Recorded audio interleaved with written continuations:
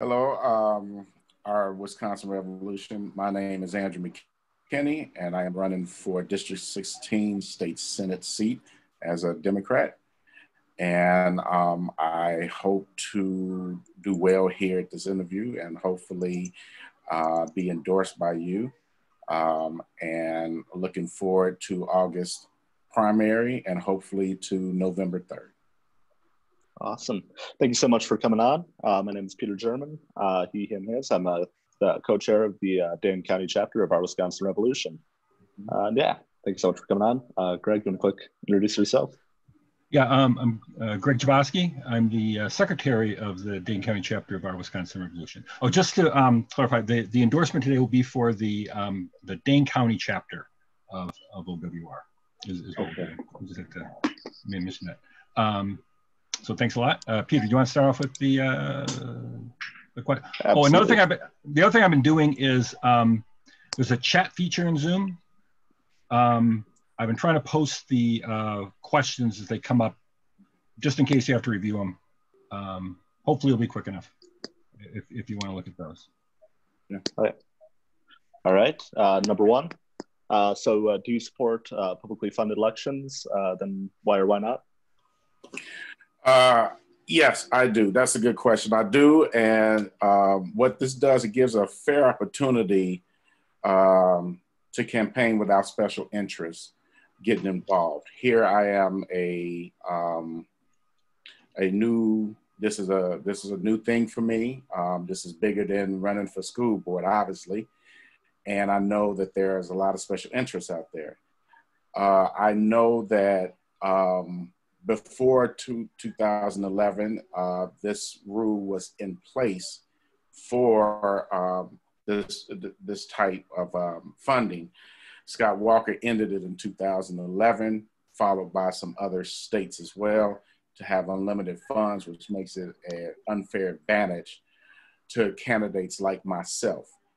Uh, I try, I'm trying my best to run a nice, clean campaign uh, I'm trying to uh, get donations from the people uh, that believe in me.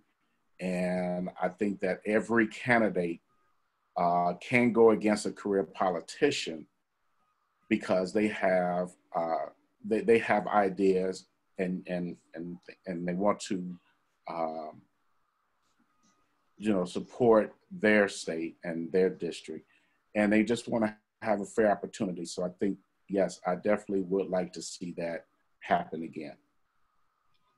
Thanks. Uh, the next one, do you favor extending the time frame to vote at the polls during elections to a minimum of two weeks ahead of the election date? Absolutely. With this pandemic that's going on, everyone uh, deserves an opportunity to vote. Uh, no one should uh, be slated for that. Um, we have fought since the civil rights as a black man. Uh, there was a time when women could not vote. Everyone deserves a vote. Here in the United States, you are born and raised here. If you come from another country and you do the proper paperwork to be a citizen, it is your right to vote. That's just the bottom line for me. So, absolutely. Thank you. Um, so, what model or plan uh, would you prefer for uh, redistricting as far as uh, combating uh, gerrymandering? Uh, that that's a great question. Um, you know, I'm a transparent person. Um, I do support the transparent and nonpartisan districting process. Gerrymandering isn't a problem of one party. It's a partisan that clings to power that damages the will of other voters and erodes our democracy right now. Voters should be able to pick their elected officials, not the other way around. With our current system in Wisconsin, politicians draw to their own district lines. However, I would like, as a senator, I would like to come together to get all the senators together to make one process that's equal for both sides and stay with that forever. It should not be changing every time a party flips. You know, that's that, that does not work for the people. The people vote us in as a public service, and it should be equal and drawn out straight down the middle to have everyone to have that opportunity to vote. So I would like to work both party lines in order to get this done, to keep it in policy. It should never be broken again. It should be right, it should be fair. And that's my take on that. What are your top three legislative priorities, and what will you do to move them through the legislature? Uh, yeah, that, that's a good question. You got the top three.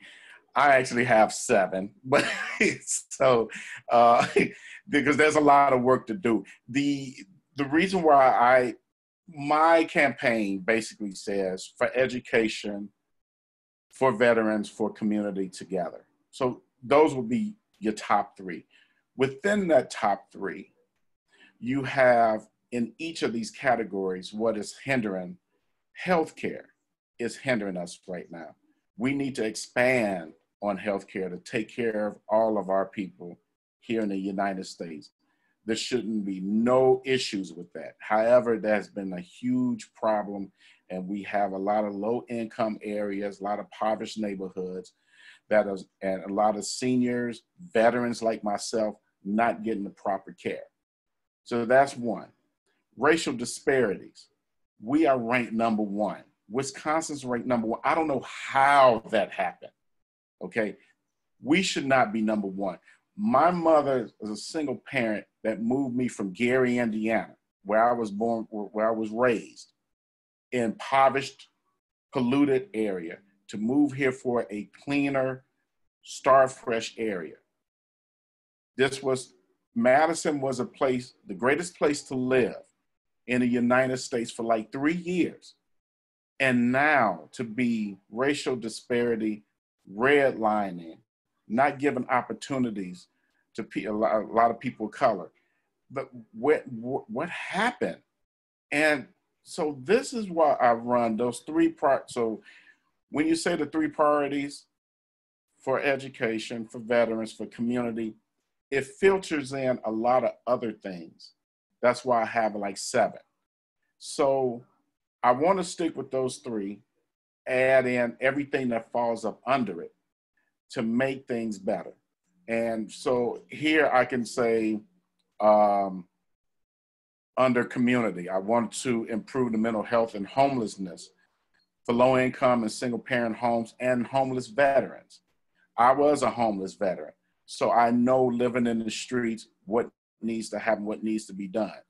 Um, fighting for fair housing rights. That's another thing on the community and veterans. Not getting the you know we're not getting that the opportunity to be in good homes. The uh, the injustice in the system the justice systems for all the citizens we, we need that. Um, also um, in my community and also that goes into education you know our environment policies you know we need we we can't have uh, tainted water and we can't have all this pollution and everything. We, we're better than this. We, we are a rich country and we need to do better. And I don't believe the policies right now uh, are helping our community and the state right now. So this is what I want to do uh, as a senator to get in there to work with other senators to get things done.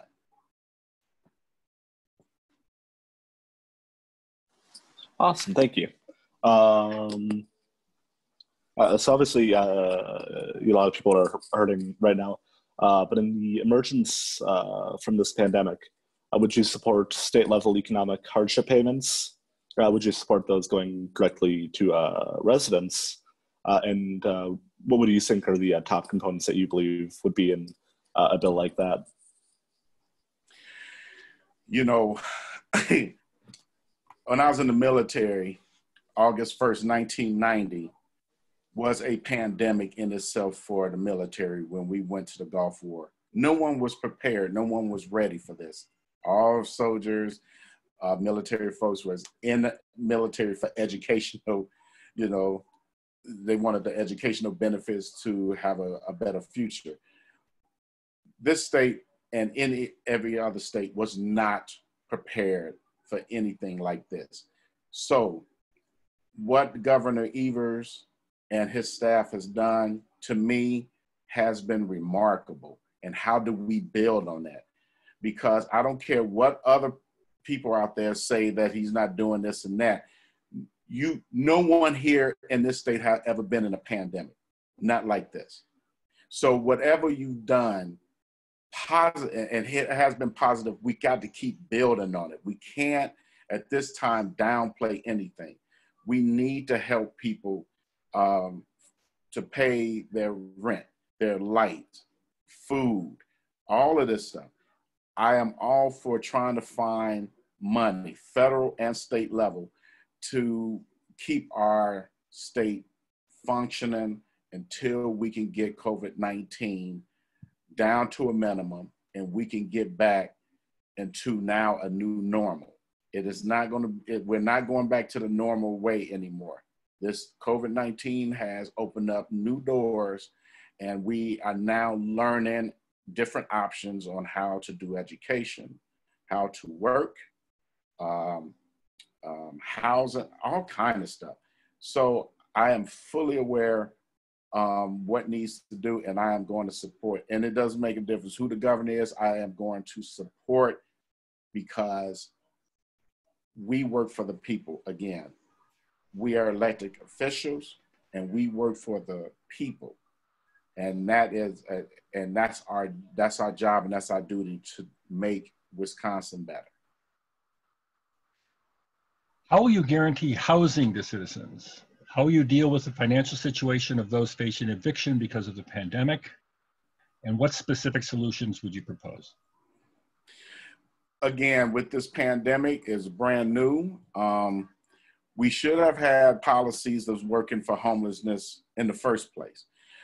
I know that we have our two parties right now are so divided that they do not want to come to the table and actually sit down and hash out problems for you know for the people. It's basically my way or the highway. That's not how it's supposed to work. We're supposed to come together to work on these types of issues. Um, so for me, looking at the whole scenario coming together as senators and assembly to make policies to get the funding to do all of what we need to do for our community. And like you say to to guarantee the housing people should not be homeless at this time. We have to protect our we have to protect the people in our state by any means necessary.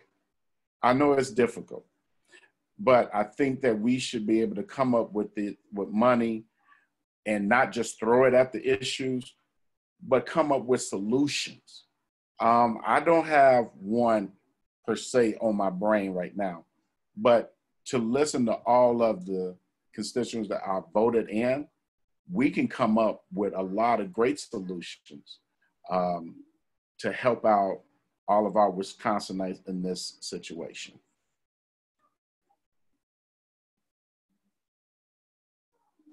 Thank you. Um, uh, so, will you fight for uh, a single payer healthcare system at the uh, state level? And uh, would you support uh, a federal single payer healthcare system? That's a good question. Yes and yes. And the reason I would do that is because it's something like even Bernie Sanders have been fighting for universal health care. We, again, we are a rich country. Why are people not able to afford health care? Everyone deserves that. Everyone should be covered. It, the population will be healthier. Uh, businesses will be better. Uh, reduced, you know, our re- per capita spending would be reduced. Now, we know that there's going to be some cons to it, but I believe that as senators and assembly, and even with the governor, we should be able to find ways where there won't be no huge tax hikes. Because you know big companies don't want to be you know paying taxes. They have to compromise and that's one thing that people you know in the senate and, and assembly and even when i'm in the school board we have to learn how to compromise and come up with great deals and negotiate to be to come up with the great outcome for people um, we need to um, it, we know that it could reduce the uh, government funding, but the government can come up with money. It, it's been proven. With this pandemic, we're supposed to be trillions of dollars in the hole, but they were able to come up with funds to try to relieve people in America. So we know that the government can do what they need to do. Um, the biggest thing is that con of it is that we're a capitalist country and that would take out the competition and it shouldn't be a competition. We're people. We need it. All these companies should come together and compromise and say okay i'm not going to try to make more money than you because we are thinking about the health and the, he- the health care of people. And this is where poverty capitalism hurts us the most. I believe that if big companies with the state senators across the United States can come up with some solutions and programs, I think that it would be better for us and we can all be covered and we should be able to have a great healthcare system at the state level and at um, the federal level.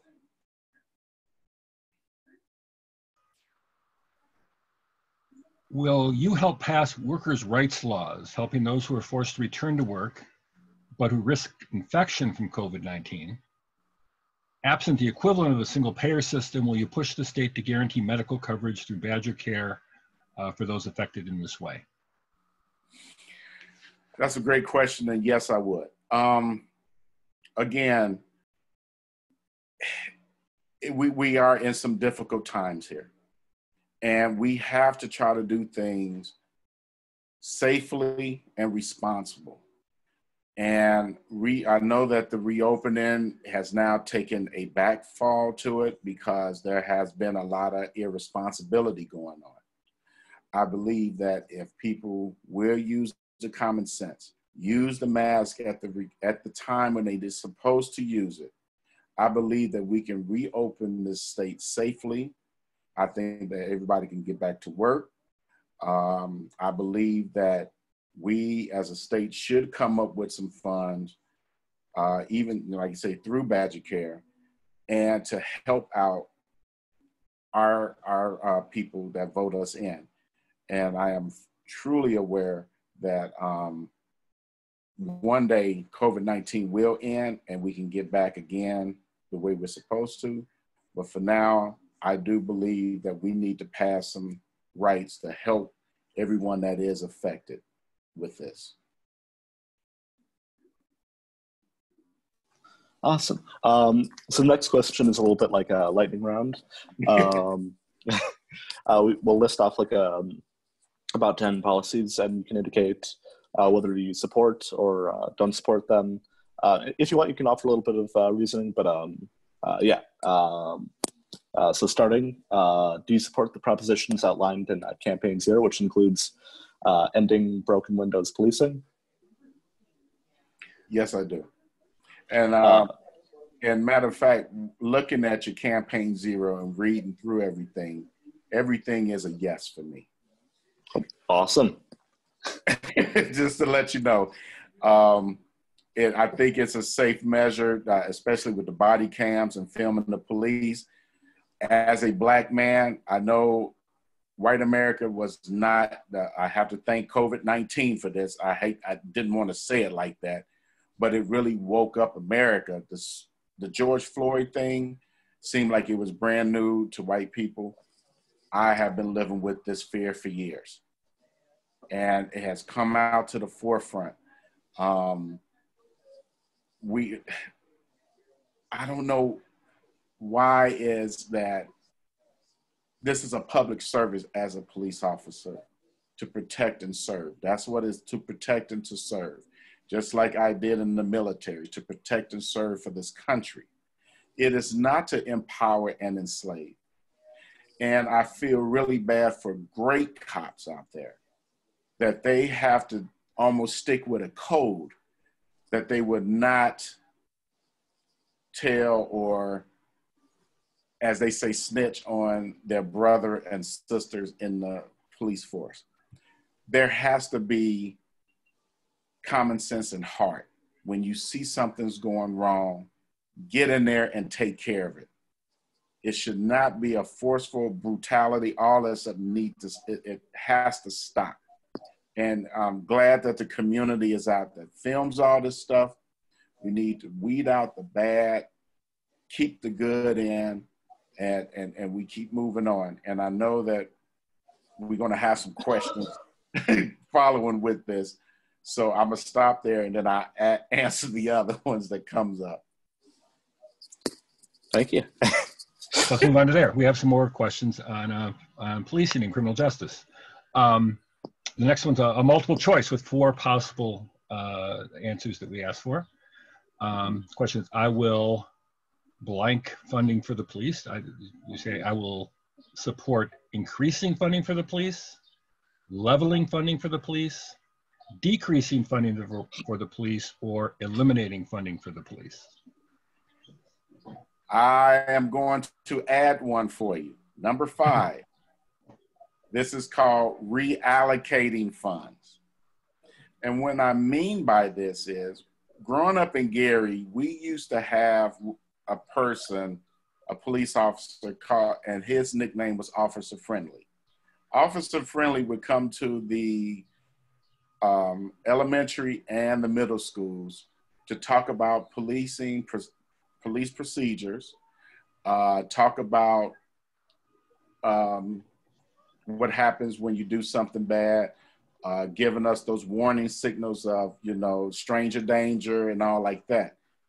Also, we had what was called from the 80s movie, uh, Police Academy, we had citizens on patrol. So we were able to assist police officers in seeing things that was happening in our neighborhood. That's not going on right now.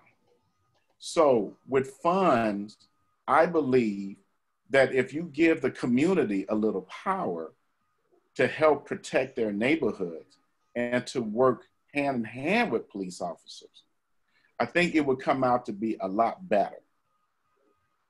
I don't want to decrease.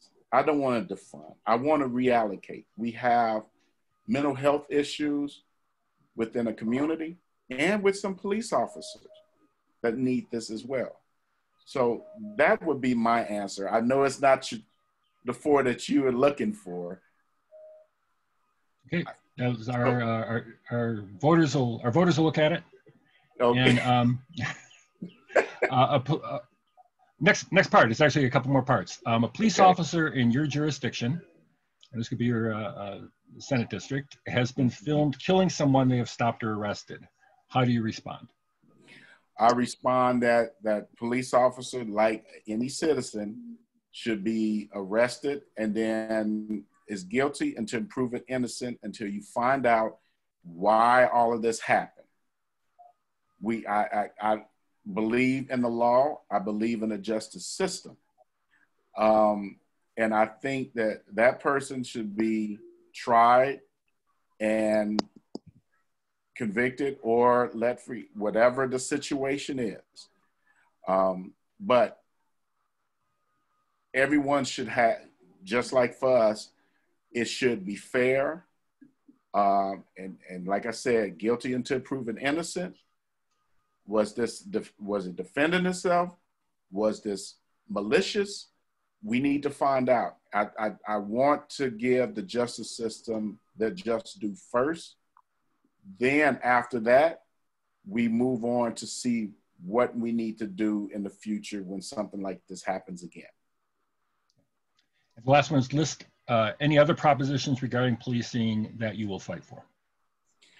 I am going to uh, fight for um, trying to recruit more minority to be into law enforcement, um, just as I would like for them to do more mental health in the application process when you're recruiting.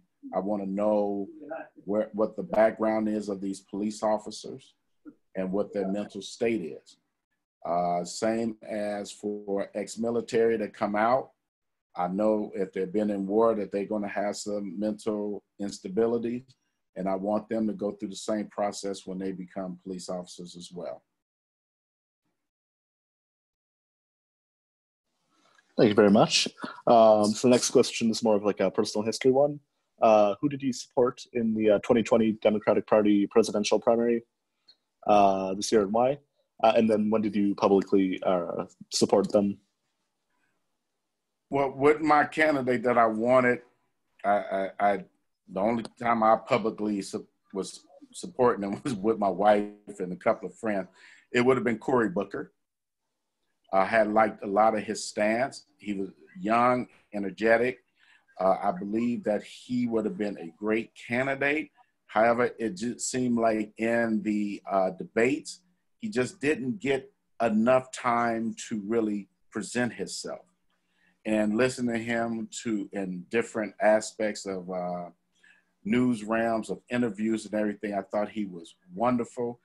So now with Biden, Biden running and supporting him, I hope that if Biden wins, I hope that Biden hires him in some capacity because he brings a lot of great perspective and he brings a lot of energy and um, charisma and he got a lot of veteran leadership in there and he would be a great asset to the White House.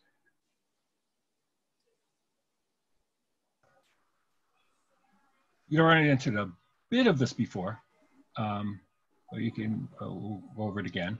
What is your analysis of the Evers administration handling of the COVID-19 crisis in Wisconsin, including its handling of the processes leading up to the April 7th election? And the same question, uh, what's your analysis of what the, uh, of the state legislatures action? You know, I um, I really have to commend Tony Evers, uh, and I'm going to say any governor in this time. The handling of COVID 19, the way they came in, because this has never been happening. So here we are at ground zero. Everything he's done or tried to do, I believe, has been positive. I believe that as you grow into this, you're learning, writing things down, um, putting notes and, and everything to be able to be ready for policies because we may go through a pandemic again in the future. And this here is a learning, this has been a learning opportunity. As far as leading up to the uh, April 7th elections, I believe that he had handled it pretty well. However, he was getting attacked by the GOP and um, then the GOP because he wanted to expand, he wanted to extend it out to see if we can get the COVID 19 down, the numbers down. However, the GOP wanted to do the election. It happened. Uh, now they got upset about it.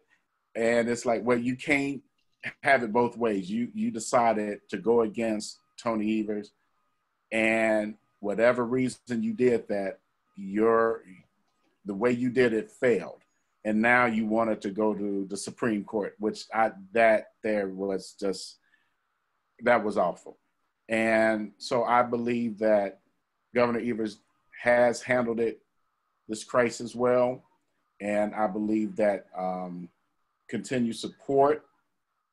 I would continue to support him and his staff uh, to make Wisconsin safe and get these numbers down so we can get back to where we need to be.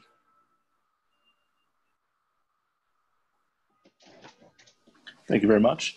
Um, so the next one, uh, taking a little bit of turn. Um, are you supportive of the uh, BDS, which is the boycott, divestment, sanctions movement? Yes. Uh, as a veteran, this is what we've we fought for for this country is your freedom of speech. That I mean, that's basically what it is.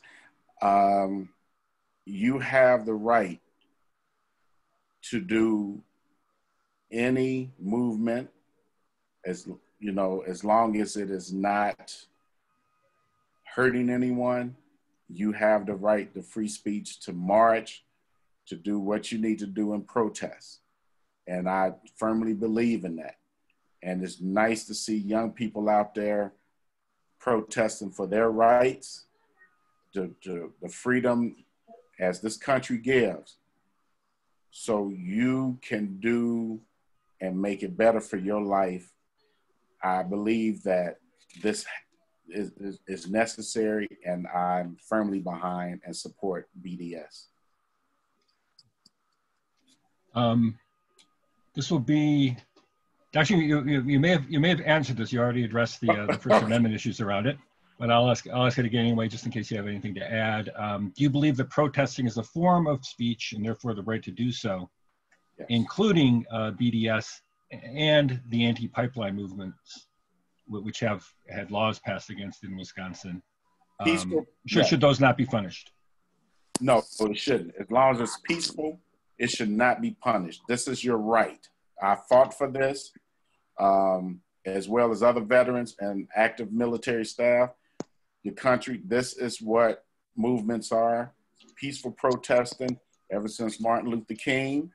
Um, this should not be punished in any way as long as it's peaceful, no one's getting hurt. This is what needs that. Uh, this is what we're built on, and I firmly um, protect those rights. Awesome. Thank you very much. Uh, so the next uh, few questions are going to be more um, uh, technical questions about the campaign. Mm-hmm. Um, uh, so number 15, uh, list any unions that have uh, in this race and which labor endorsements are you actively seeking? I haven't, I've answered a lot of questions with a lot of endorsements. however, I haven't received any endorsements. Um, again, I like the um, elect the, the campaign that I'm running, the people are engineering, the volunteers that I have are engineering uh, my campaign 25 here, 50 here. Um, and this is a this is a grassroots. Uh, I'm I'm new to this. I don't have no huge endorsements that I am aware of that has come in anything. Um, and I, am I'm, I'm liking my campaign. It's it's nice. Although COVID nineteen has stopped a lot, I protect myself. People like to talk to me. I meet them, stand at six feet apart. My voice carries, and I talk with people. And um, so I don't have that much money, but I have my I have the people, and that's what gets you in office is the people. The the voting they vote and they make their they, they make their stands very clear. And this has been a great campaign so far, even in this pandemic. I think I'm running a great campaign. Uh, regarding fundraising, uh, how much? Uh, there's multiple multiple parts here, mm-hmm. um, and it's in chat if you if you missed some of them. Um, regarding fundraising, how much have you raised for this race to date? Uh, who are your top three donors?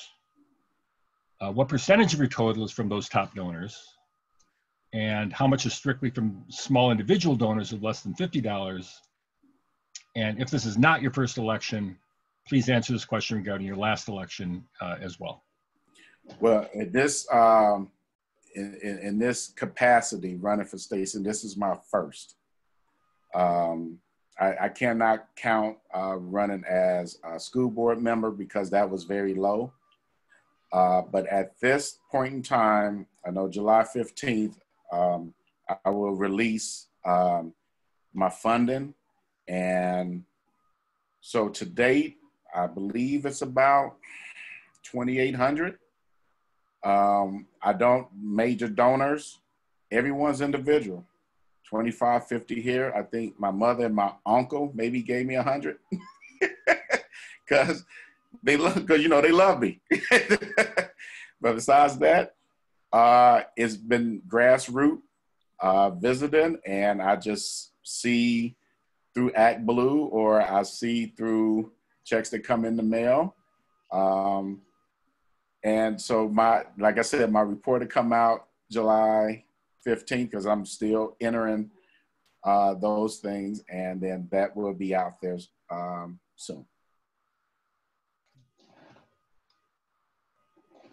Uh, thank you. Um, so, do you support uh, legalization of uh, recreational cannabis, including the expungement of all uh, previous cannabis-related charges and the release of um, all those currently serving time for uh, such charges? That's a great question. Um, cannabis, absolutely. Um, I know that legalizing cannabis will stimulate our economy here in Wisconsin. Um, what I would love love to do also is to release people who may have got caught with it. They shouldn't be serving on three to five years. Um, they, it, it's not fair. Um, and I think, personally, I think that as a black man, black young black men have been getting arrested for having marijuana uh, and not getting treated the way that's um, in the judicial system and getting put in uh, jail for um, these kind of low, you know, low risk um, offenses. But I believe with legalizing, I believe that it will strengthen our state. I think that it will strengthen our educational system with funds um, receiving the funds from the sales, uh, I think it would actually lower property taxes. Um, I believe that um, money can go to helping with mental health issues. There's so there's so many options out there that I believe that cannabis will bring to this state. And to have both parties working and agreeing on policies and how to finance all of the um, public nonprofits, small businesses, agricultural, um, and getting out of this pandemic because we really do need some extra money here right now to help out our state. I think that uh, this should be a no brainer. And as a state senator, I will fight and I will try to get uh, work cross party lines to get this done. Uh, do you have uh, another uh, election related question? And it's the last one as well. Um, do you have paid staff or consultants working on your campaign? And if so, what percentage of your campaign funding goes to paid staff or consultants? Team McKinney right now consists of my wife and I. And my my son who's 10, he's my security. And my daughter is somewhat of my webmaster. so Team McKinney, this is the staff here. I have a lot of volunteers in Sun Prairie, Madison, Cottage Grove, Monona, McFarland, and Stoughton. And these are for the 25 years since uh, being uh, separated out of the military. I have built positive relationships with so many people around. Uh, a lot of my former students are the ones that are helping me uh, helping volunteer. So I do not have any paid staff. It's just the McKinney family and all the volunteers out here in the community and I thank them so much for just believing in me and um, following me and say that I would probably make a great senator. And it feels great coming from my heart that to hear that. And again, uh, win or lose, um, this was a great experience. Uh, I see there's a lot of work to be done, but I know that I put my I put my foot in anything out there that I need to do and to get the job done. So I'm thanking my family and all my volunteers and, and family.